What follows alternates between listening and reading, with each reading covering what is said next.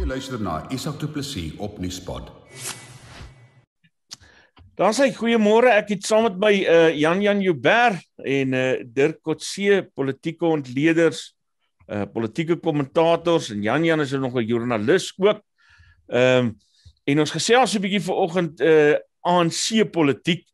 Uh ek sien Jan de Lange skryf uh dit lyk na 'n uitgemaakte saak dat die swakste president in die geskiedenis van die ANC, hy plaas dit in aanhalingstekens, die sekretaris-generaal uit die party gaan skop.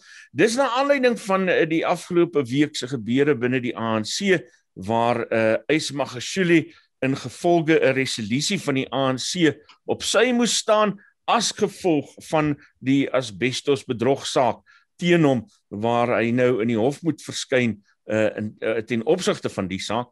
Maar toe hier nou die naweek nou nog 'n klomp drama ook uitgebreek. Hy's toe ehm uh, uh ten spyte daarvan dat hy aandring daarop om nog die sekretaris-generaal van die ANC te wees, is hy sommer so 'n uh, Samir Situ Situ uit die ANC se vergadering geskop. Ehm um, en saam met hom is Bongani Bongo ook uitgeskop en dit lyk of ehm um, of die president baie ernstig is die slag oor waarheen hierdie ouens moet gaan. Ek wil die vraag vra wie is hierdie ou en wat het hy met Cyril gemaak? Ehm um, want uh, dit is nie die ou wat ons die afgelope klompe jaar leer ken dit nie. Ehm um, kom ons begin sommer by jou Jan Jan.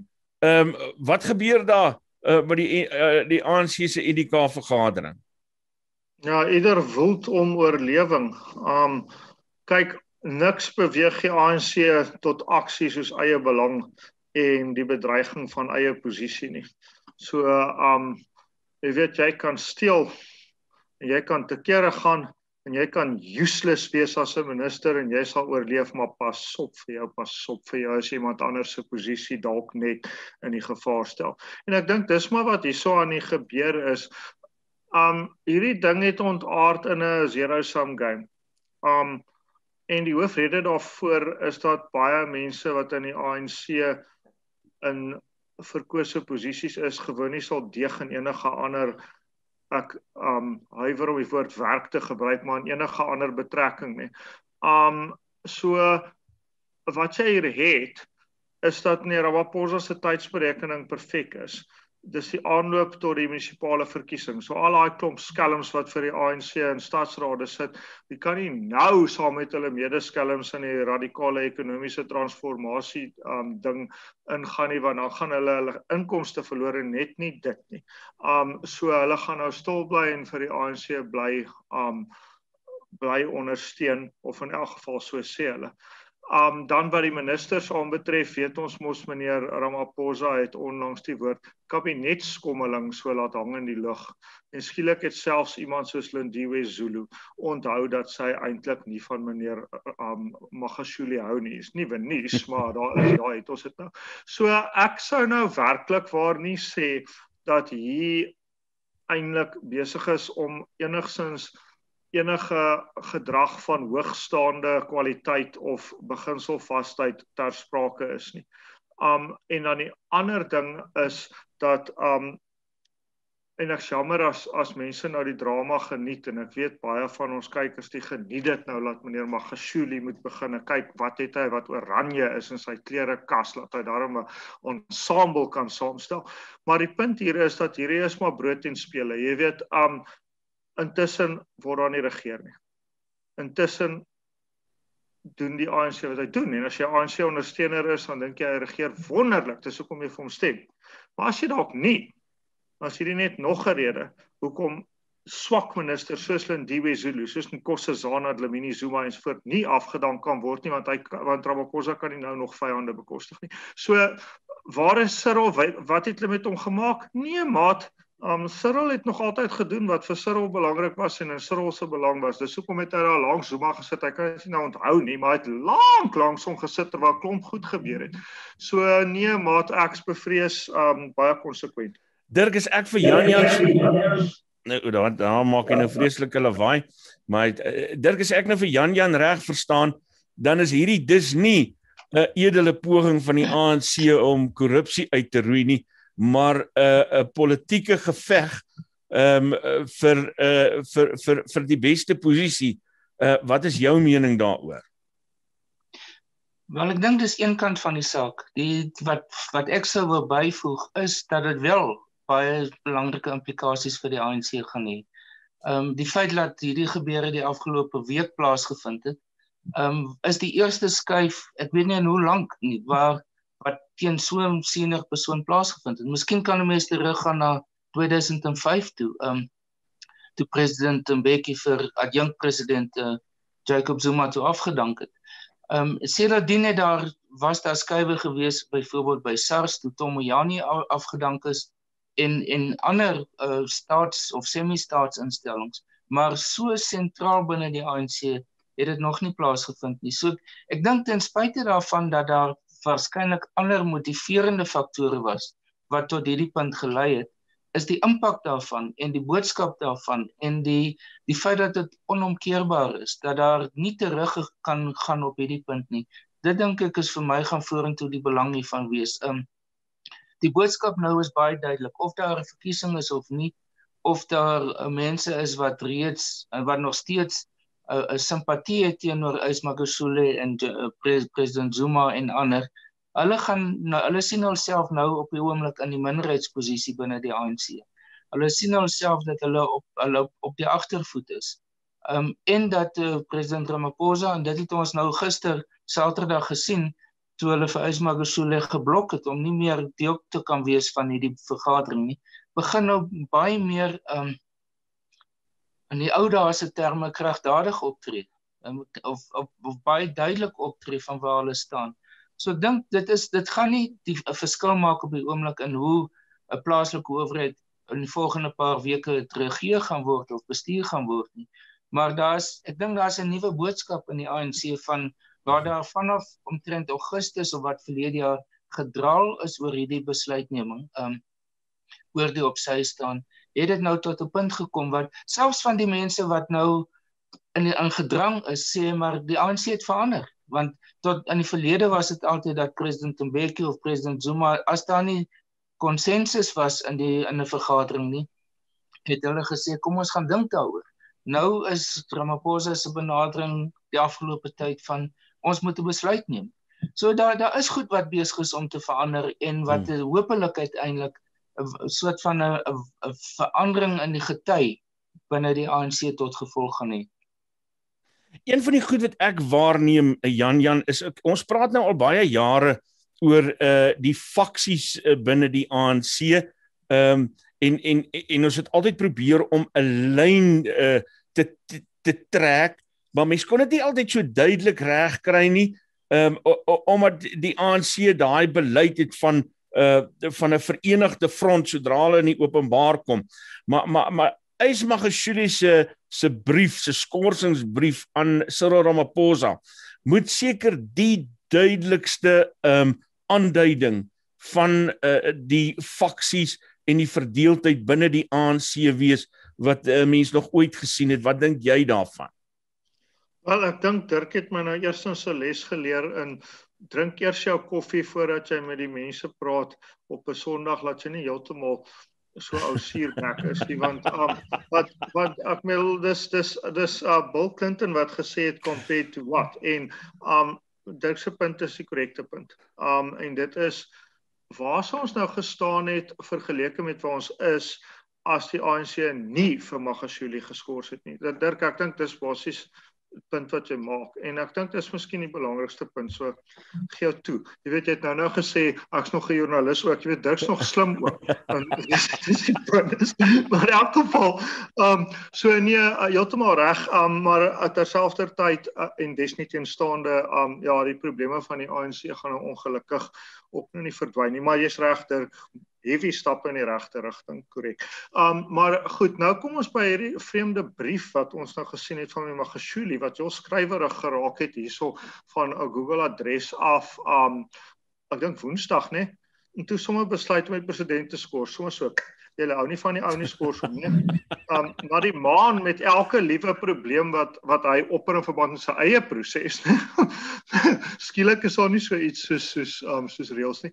So um wat dit opdui is dieselfde punt wat jy gemaak het Isak oor hoekom dit so moeilik is en was en bly om faksies in die ANC behoorlik te te alineer.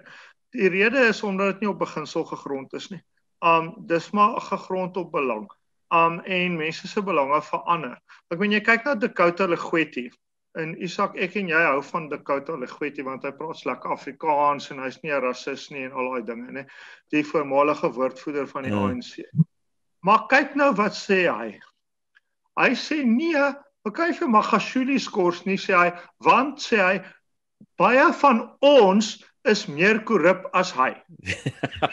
nou my goeie Dis verstommend. Vader, jy kan you can't script this. So dit is um wat in die ANC aan die gang is. Ek meen die feit dat meneer Magashuli kan inteken op 'n vergadering waarvoor hy nie 'n pin het nie is op sigself al reeds 'n korrupte handeling. Maar dis blykbaar net hoe hy is en hoe sy mense is. Dis blykbaar oukei, jy weet. Um die ding waaroor hy ontstel is, is daardie geweldige um soos uitklop hou in enige organisasie toe sy parkering weggevat is, okay? Dit was dit was heavy. So wat ons mee sit Isak um en ek maak nie lig van wat hier aan die gang is nie is 'n organisasie wat heeltemal sy put verloor het.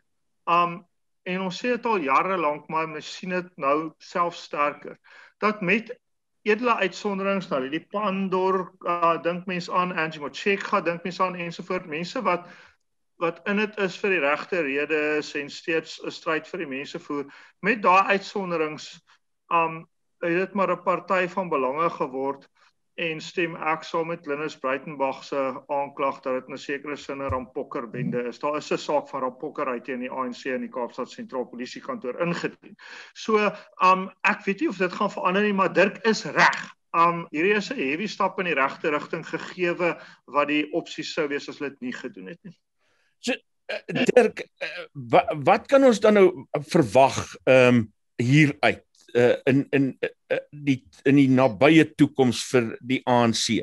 Want want dit lyk nie vir my of eis ehm um, gaan stil sit nie en dit lyk nie vir my of sy ondersteuners gaan stil sit nie. Ehm um, hier gaan nog 'n klomp woelinge kom wat ons almal raak. Ja, ek vermoed ook so en ek dink wat ons die die probleem is ons weet nie wat om te verwag nie. Ehm um, ek moet aan die verlede tydens president Zuma se se tyd as president ook was daar soveel verrassings gewees. Uh, hierdie brief van uh, Ysmagashule aan president uh, Ramaphosa was vir my persoonlik 'n verrassing gewees. Ek het nooit gedink aan daardie moontlike opsie nie.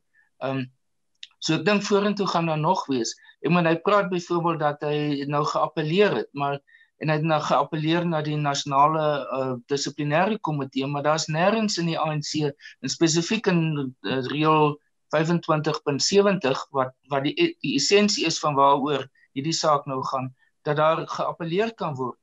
En dis die basis waarop hy nou aanspraak maak om te kan voortgaan as sekretaris-generaal dat hierdie sogenaamde appel eers afgehandel moet word. So ek dink daar gaan nog baie dit gaan 'n baie ehm um, onduidelike situasie wees, ongedefinieerde situasie binne die ANC wees um, in die volgende paar maande. Um, en ek dink dis dis die die teenkant vir die vir die stappe van van president Ramaphosa is dat hy aan die een kant het is daar nou meer duidelikheid oor sê maar die status van van Magashule en uh Bongani Bongo en waarskynlik van die ander persone later. Maar terselfdertyd skep dit onsekerheid binne die ANC oor waar die gewone mense staan. Ek dink een van die groot punte van onsekerheid en dit vat mense terug na die periode tussen 2005 en 2007 is wat sê die mense die ANC mense op die grond? Aan watter kant is hulle? Het hulle simpatie met Magashule of het hulle is hulle ondersteun hulle president Ramaphosa? Die een punt wat ek altyd ophamer is dat daar's geen manier hoe 'n mens die die invloed en die mag die institusionele mag spesifiek van die president wat in twee hoedanighede is ANC president en nasionale president kan of moet onderskat nie Ehm um, baie mense doen dit en stel hom op 'n gelyke vlak met die ander, maar dit is glad en geheel nie die situasie nie. Die posisie van die president, ongeag wie die persoon is, of dit president Zuma is, Mandela of Ramaphosa, dit maak nie saak nie, dit gaan oor die posisie. Die posisie is so magtig, so alles oorheersend binne die ANC dat daar nie eintlik moontlik is vir werklike oppositie daarteen nie. Um dit was hoekom hierdie periode sedert 2017 so 'n mate uitsonderlik was. Is dat hulle probeer het om om president Ramaphosa uit te daag um en komende van van Magashule en dis omtrent die enigste rede hoekom dit kon plaasvind is om omdat dit van 'n voormalige van die sekretaris-generaal en 'n voormalige president gekom het. Maar andersins as dit is daar die kanse want die die logika is dit wat Jan Jan nou so op op dikwels na verwys en dit is dat mense kyk na hulle eie toekoms, na hulle eie belange binne die ANC, né? En byvoorbeeld om te kyk is gaan dit gaan daar moontlike wegbreekgroep uit die ANC wees. Ja, dalk 'n klein groepie van mense soos Nomvula Mokonyane en ander wat reeds die einde van hulle politieke loopbaan bereik het. Maar jonger mense wat in die ANC is, die Roland uh, Lamolas van die ANC en ander. Vir hulle het is daar nie iets anders as die ANC in terme van 'n politieke toekoms, ten minste vir die nabye toekoms nie. So dit beteken hulle gaan in lyn agter president Ramaphosa kom. En my alle politici maak 'n berekening van waar is is die beste situasie? Waar is word hulle belange is daar die die me, meeste moontlikhede daarvoor? En enigiemand van ons kan dit nou sê op die oomblik as 'n mens na die balansstaat kyk, is dit aan die Ramaphosa kant. En dit dink ek gaan vir die to, nabye toekoms of voorsienbare toekoms gaan in sy guns kan tel. Hmm. Ek Jan Jan, ek wil jy sê oor hierdie ding wat Dirk nou gesê het. Ehm um, want dis ook nou 'n ding wat ons lank gesien het uh van 'n president wat daarvan beskuldig word dat hy eintlik maar ruggraatloos is en nie veel doen nie. En ewe skielik het sy dit nou is of uh, iemand nou besig is om 'n posisie te beskerm of het sy dit is die ANC wat 'n uh, 'n nuwe beleid teenoor korrupsie het.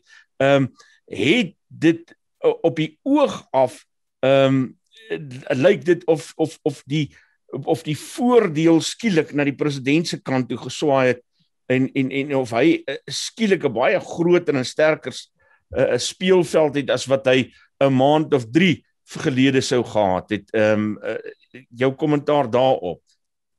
Ek dink dit sou deur sy ondersteuners aangevoer word en mense maar vir jouself besluit of hulle reg of verkeerd is dat dit wys hoe goed sy taktik eintlik werk want um hy hou met ander woorde baie mense binne in die tent. So miskien as hy voortdurend opgetree het teen mense wat eintlik teen opgetree moes word eerder as om dit nie te doen nie, was hy nie nou in so sterk posisie nie. Maar nou sit jy en vra jou af nou waarmee sit hy dan nou in sy span want is ook maar nie 'n manier om te werk nie. Jy weet om alles wat sleg is te hou sodat hulle nou maar nie teen jou draai nie. Hmm. Dis nou nie eintlik 'n resep vir uitstekende regering nie. En 'n mens moet maar onthou dat waar mense jou uit belang steun, gaan hulle wel nie verander in jou skielikheid beginsel steun nie.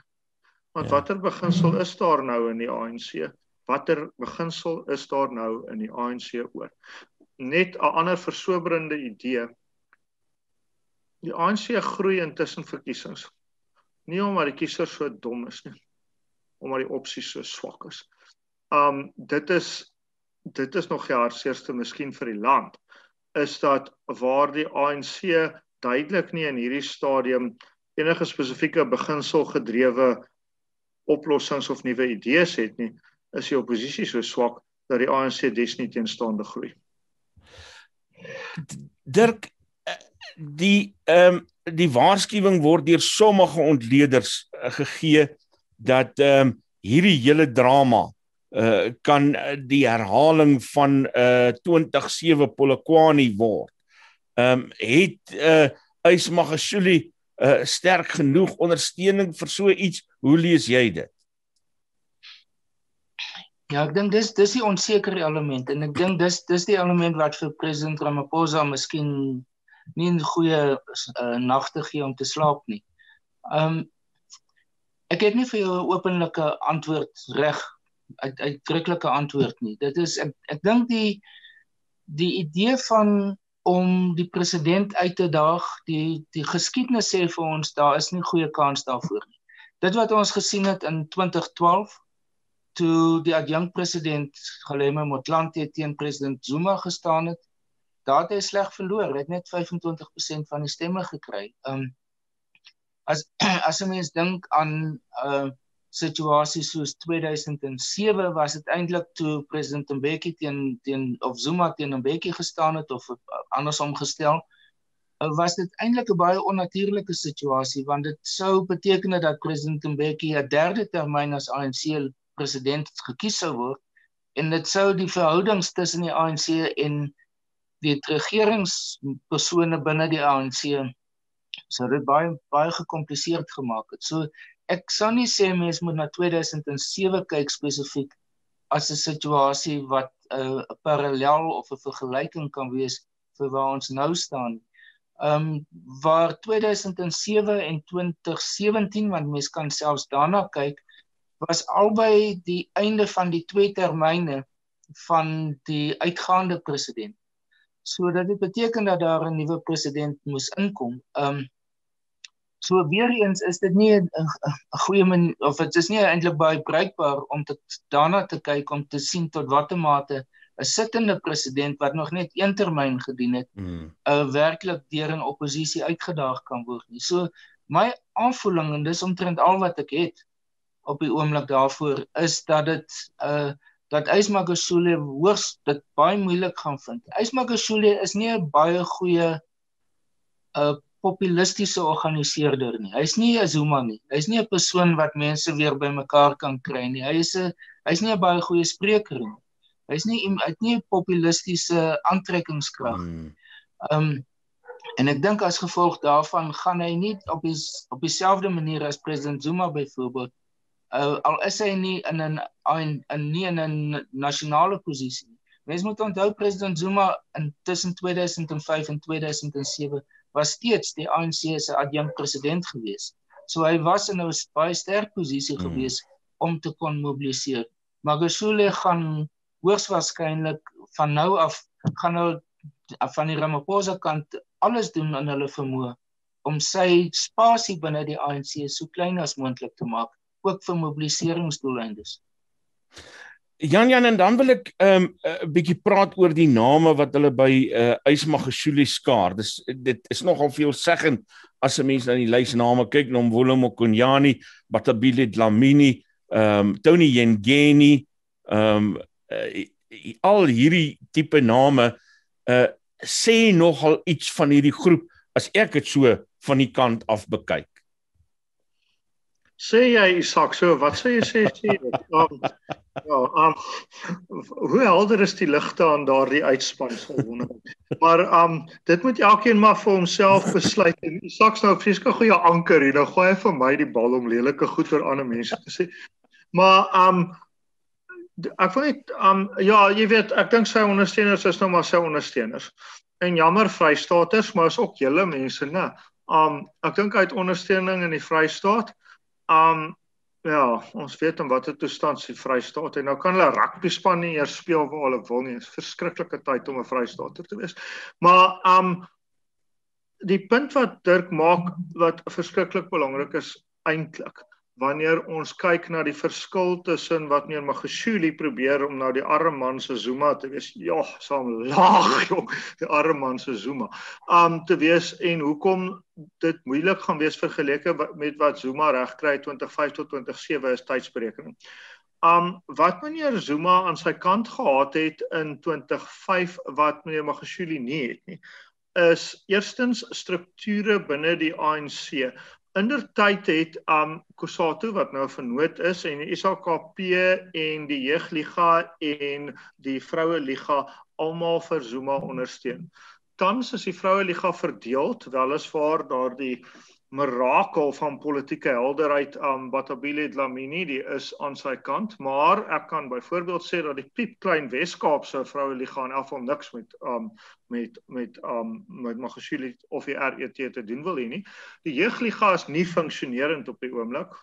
Um en Kusato en die kommunistiese party is aan meneer Ramaphosa se kant. Die ander ding wat Zuma gehad het wat die mag eintlik um relatief in sy guns geswaai het of gekeer het dat hy platgetrap word was dat die nasionale algemene raad, die National General Council van die ANC waarvoor ek terloops die Afrikaanse naam destyds uitgedink het met die absolute wete dat die afkorting NAR NAR sal wees.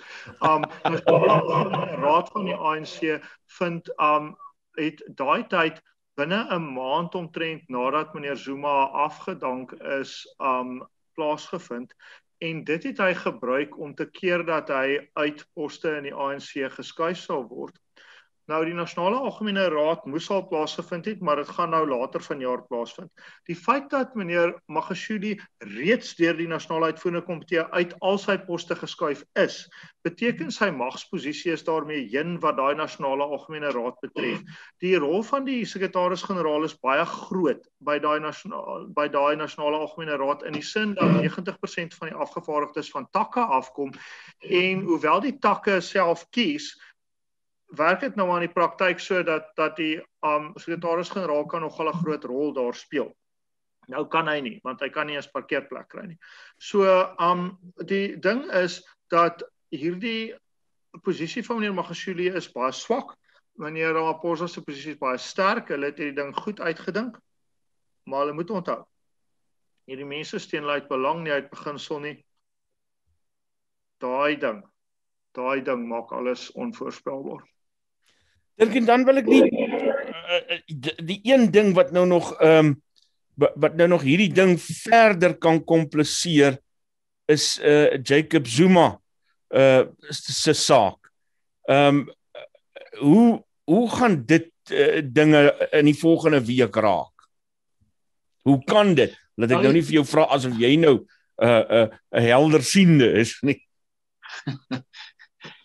ja, ek my weer eens vermoede is en dit, as 'n mens kyk na wat die afgelope kere gebeur het toe hy byvoorbeeld in die hof verskyn het sowel as by die Zondo-kommissie is dat die openbare steun vir hom het so dramaties begin afneem dat dit bly Karel Karl Neus en 'n paar het oorgebly. Maar as dit as 'n mens moet kyk na dit wat jy sien, ehm um, dan lyk dit asof die Zuma faktor in die ANC baie baie afgeskaal is. Um en dat dit nie werklik meer 'n belangrike faktor vorentoe gaan wees nie. Veral gegeewe die, wat nou gebeur met Ysmagashule. Ek dink as as Ysmagashule nie aan sy kant was of ten minste simpatiek teenoor hom was nie, sou president Zuma se posisie aan die ANC nog swakker gewees het van tevore. Maar nou dat daar geskuif is, die skuif gemaak is teen Ysmagashule, het dit 'n direkte effek op president Zuma ook. Ehm um, en ek dink die die ander ding wat wat ons in ag moet neem is is dat president Zuma is 'n nou 'n voormalige president. Hy het geen besluitnemingsmagte meer binne die ANC nie. Hy het geen werklike uh ehm uh ehm uh, stemsteen of stembasis binne die ANC nie.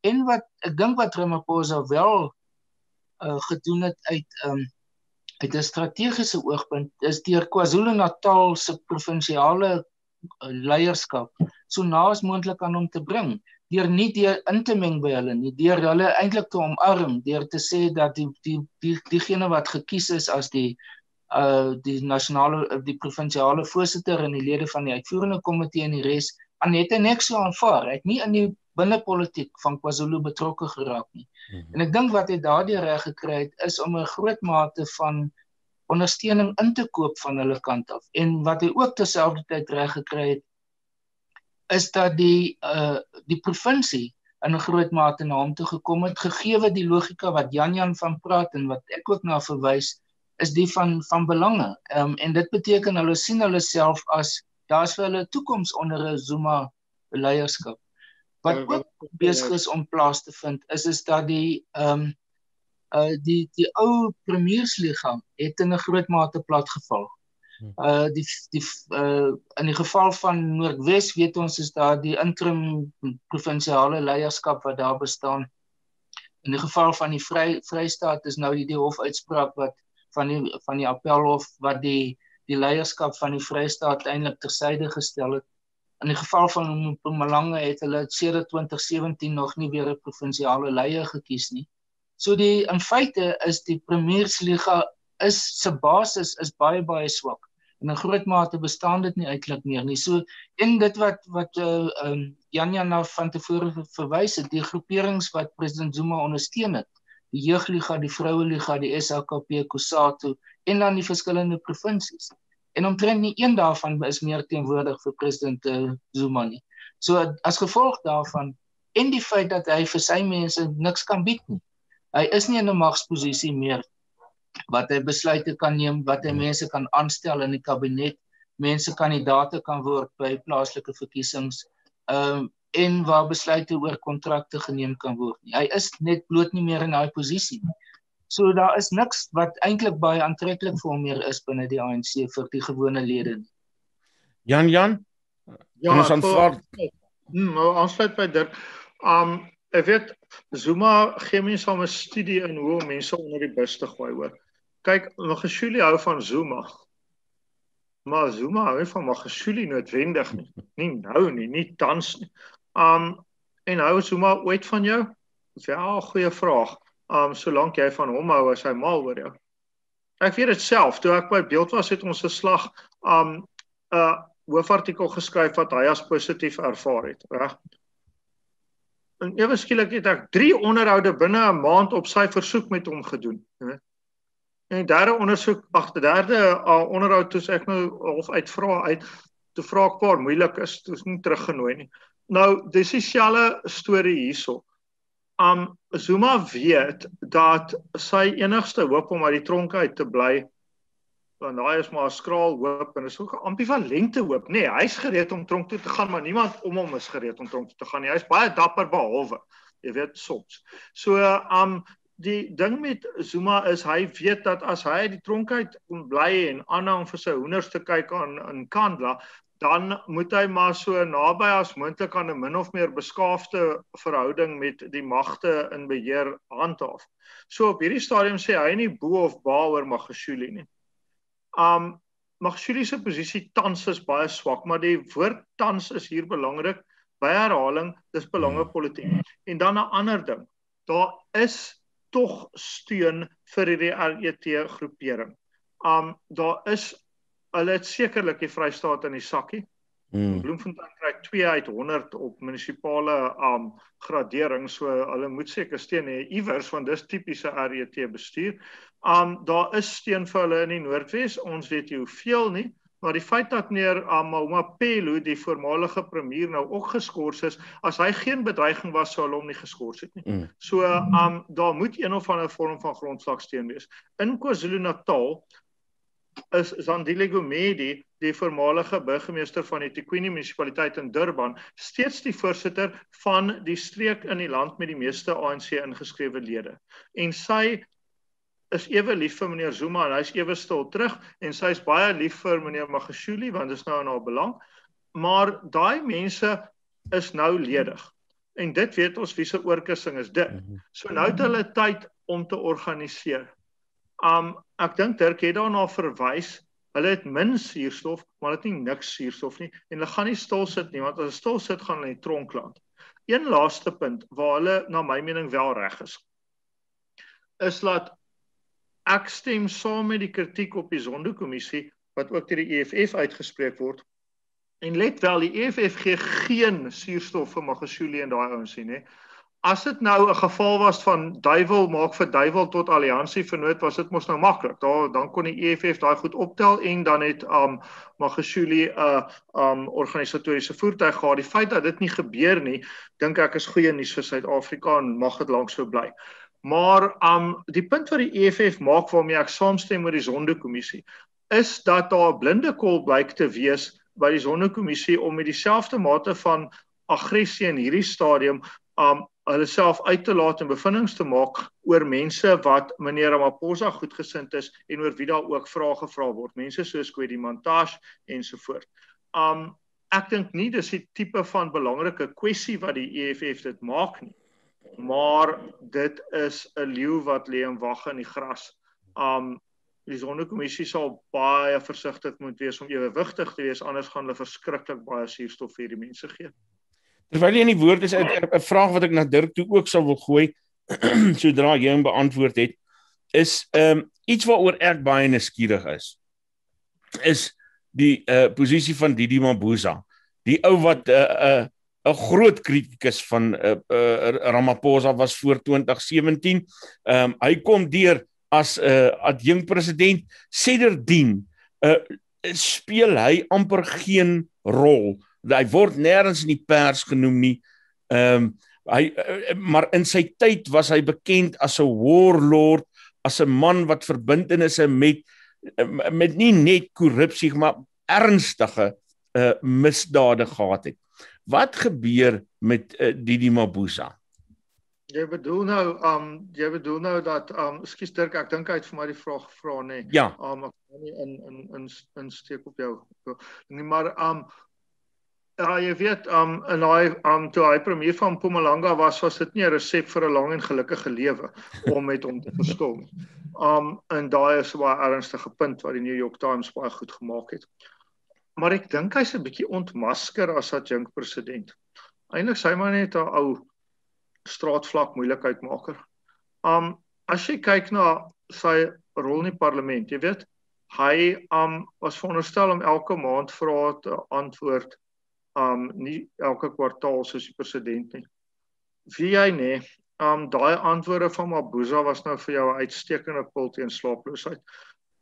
Ek sit nou al seker as iemand wie se loopbaan nêrens heen gaan nie of iets maar twee dekades lank in die parlement en ek is nie verveeld met die parlement nie ek dink is baie opwindend mm. daar vir alles fisies by inkom um, um, maar wat meneer Mabuza betref ek het nog nooit iemand gesien wat so nie weet wat aangaan en nie 'n reguit antwoord kan gee en hy's net hy's so 'n groot vakuum jy sien hom en maar as niks op binne nie so hy is baie swak as adjunk president. Hy dink nie so nie. En dit is altyd die gevaar met hierdie tipe ding, jy weet. Um waar meneer Ramaphosa ook maar 'n belangrike politiek moet speel want dit is nou maar die geldeenheid waarna hy werk. Hy kan nou nie bekostig om vir Mabuza te vervreem nie want Mabuza soos ons weet is baie sterk wanneer hy negatief is. Maar jou punt is is goed gemaak en dit is na Ramaphosa wat En die feit weet ek hoop maar net ek sien noodwendige fan van meneer Ramaphosa nie, maar weer compared to what hoop ek maar net jy weet dit word gegee dat hy nog jare met ons kan wees en dat daar tog net asseblief iemand om meneer Maboza se plek kom aan werk. Um dis maar laag um, die standaard daar. Ek sit en hoop as 'n goeie Nataler dat ons vir die land kan regmaak wat ons met meneer Zuma verbrou het as 'n provinsie en miskien vir hulle Dr. Willem Kies kan gee as vir 'n slag ordentlike ingeligte, intelligente en wat my aanbetref relatief eerlike politikus. Dirk, ek wil daai vraag na jou toe ook gooi oor Didi Mabuza. Ja, ek dink ons almal wonder oor hom. Ehm uh, hy is soos Jan Jan sê, dit mense kry bitter min van hom. Ehm uh, hy is baie dikwels soos hy vir weke lank net onsigbaar wat ons nie weet of hy in die land is en of hy weer uh, hulp kry in Rusland nie want soos ek verstaan van mense van diplomate Suid-Afrikaanse diplomate wat daar is as hy daar kom dan kry hy redelike druktepuit on, ontvangs daarso. Ehm um, ek dink wat as 'n mens miskien terug gaan en probeer verstaan waar kom hy nou vandaan en ons weet almal 2017 wat daar gebeur het en dat hy die die stemme wat hy gehad het van Mpumalanga dit hy uiteindelik op die laaste omtrent op die laaste oomblik aan president of toe aan Cyril Ramaphosa se kandidatuur gegee. Die vraag is het hy daardie selfde bedingings maar gaan hy dit Desember volgende jaar. Wanneer dieselfde die situasie homself gaan herhaal gaan president gaan die daar so 'n sterk verdeling wees binne die ANC en ons weet nie wie die opponerende kandidaat gaan wees teen president Ramaphosa nie. Daar's nog geen aanduidings daaroor nie. Maar gaan dit so wees dat daar 'n soort van 'n kingmaker gaan wees wat die amper die finale sê gaan hê oor na watter kant toe die balans gaan val.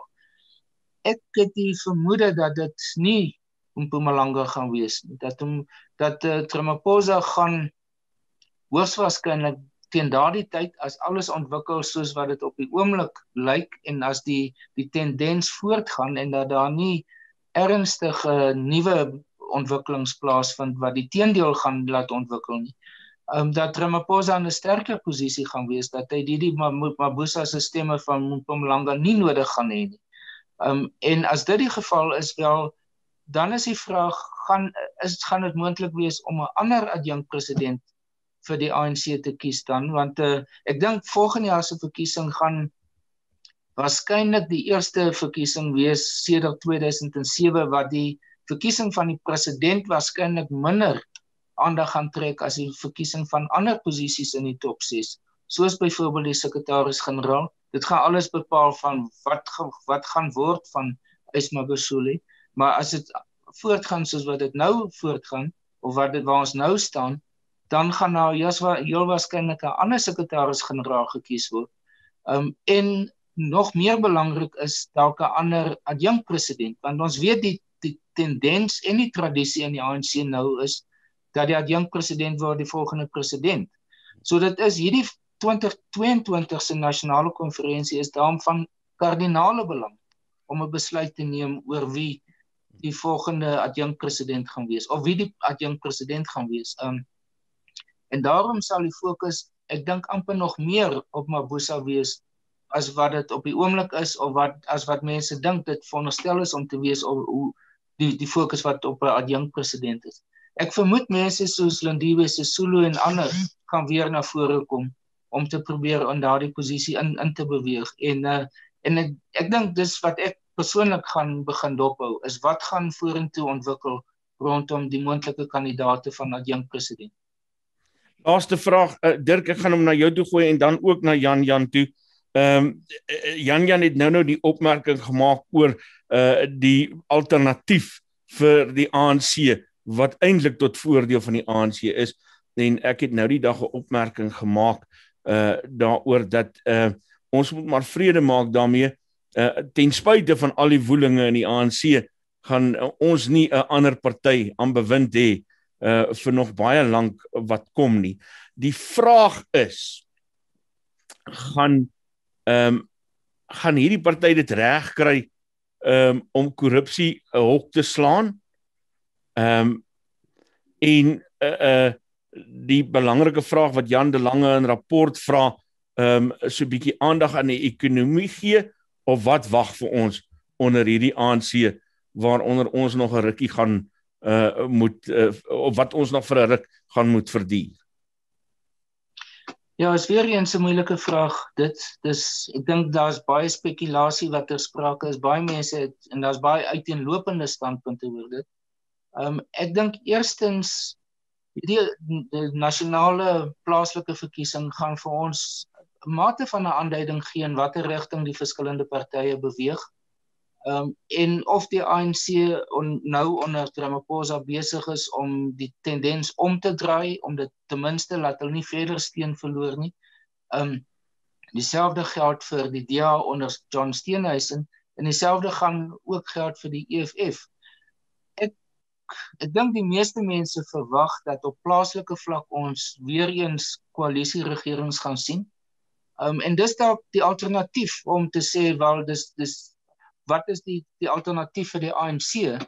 Watter party is die alternatief vir die ANC? Is ek dink die antwoord vir vir nou gaan wees is dat daar is nie 'n spesifieke party wat die alternatief vir die ANC is nie, maar daar's 'n alternatiewe regeringsbedeling wat moontlik is.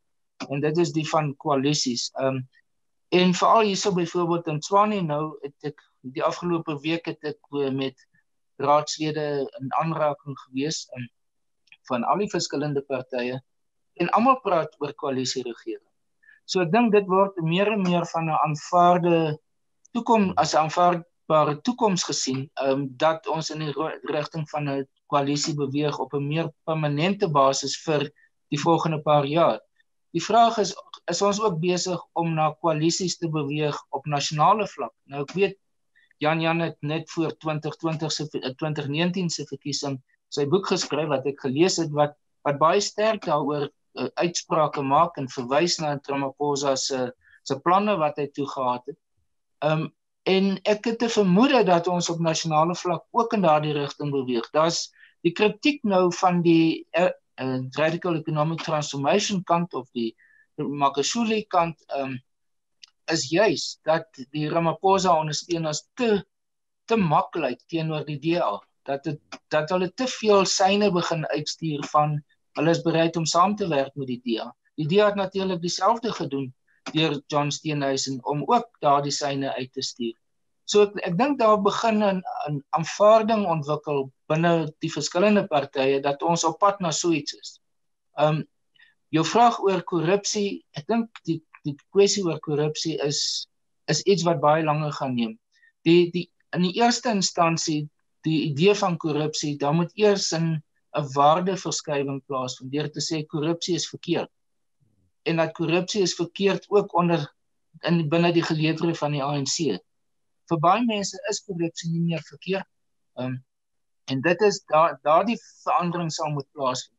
In die tweede instansie is die die die die netwerke wat bestaan wat korrupsie moontlik maak moet uh moet verwyder word. Nou deel daarvan is is ons besig om te sien gebeur die feit hoe SARS uh geherstruktureer is, die die feit hoe die die strafregtelike instellings verander is. Nou so dele van die strukturele aspekte, die magsbalans wat binne die ANC besig is om te verander. Dit alles dra by tot 'n strukturele veranderings wat korrupsie meer minder moontlik gaan maak, maar om dit heeltemal uit te skakel, ek dink nie ons is ons is op pad regtig daarheen nie, maar dit gaan solank as wat in my gemoed, solank as wat die die gety besig is om te verander. Nee, ek dink dit is onrealisties om te dink dat ons in die baie nabye toekoms 'n 'n 'n situasie gaan hê waar daar baie min korrupsie gaan wees. Dan want korrupsie is ongelukkig ook 'n produk van ontwikkelende uh, ekonomieë. Ehm um, en veral waar 'n politieke stelsel toegang gee vir baie mense tot ekonomie tot die ekonomie. Solank as wat dit die geval is, gaan korrupsie ongelukkig 'n deel van ons lewe wees. Jan Jan, jou kommentaar daarop. Ja, wat korrupsie aanbetref, um jy sê korrupsie aksie straf. Jy sê korrupsie aksie straf. Um jy weet al um daar ek weet nie dit lyk nie of enige iemand eintlik prakties teen korrupsie deur hulle self is nie. Hulle is so 'n soort van teoreties ten gunste daarvan. Net asseblief nie straf nie.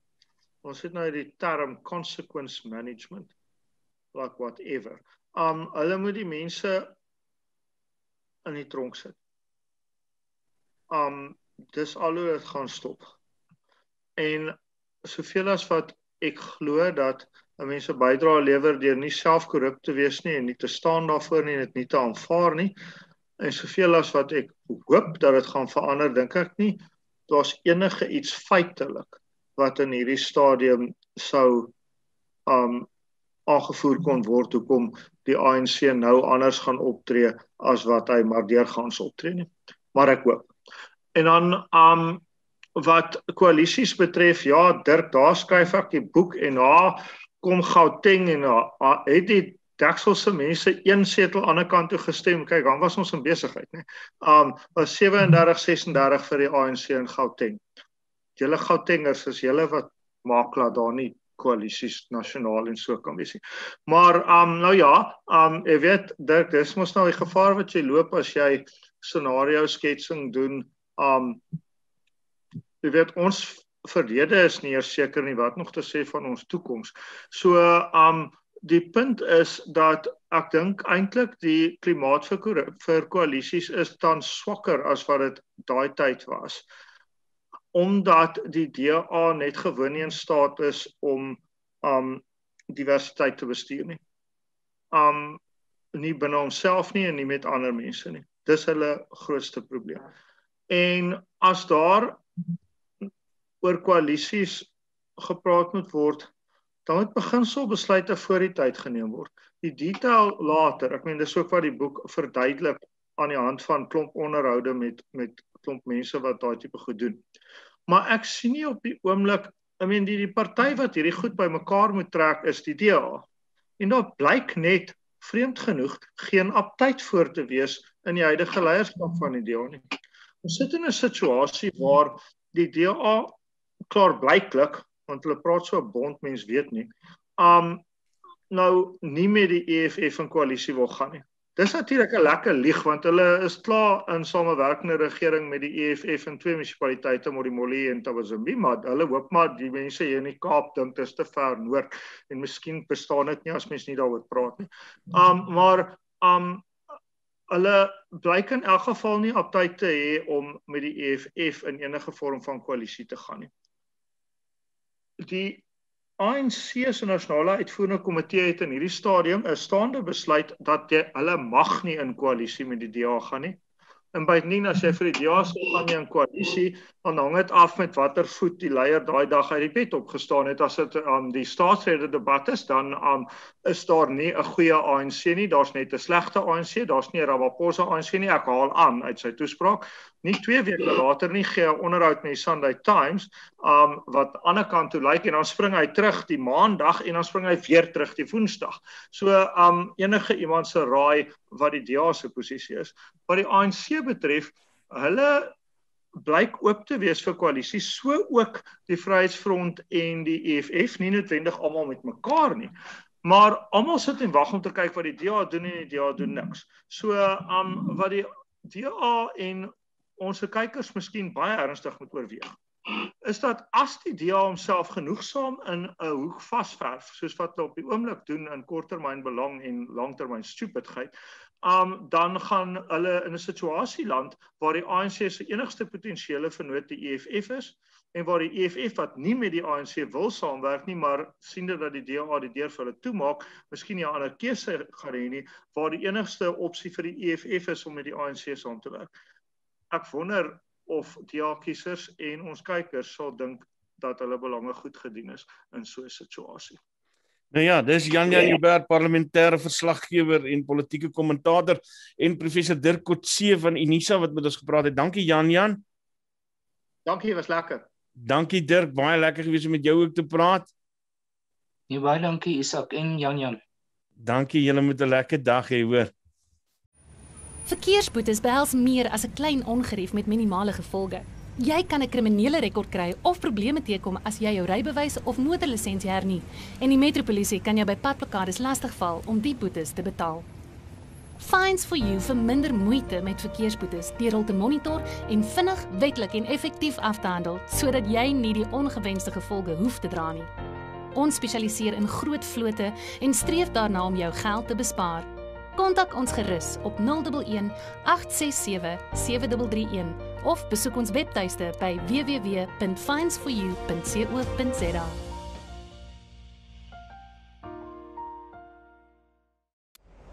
you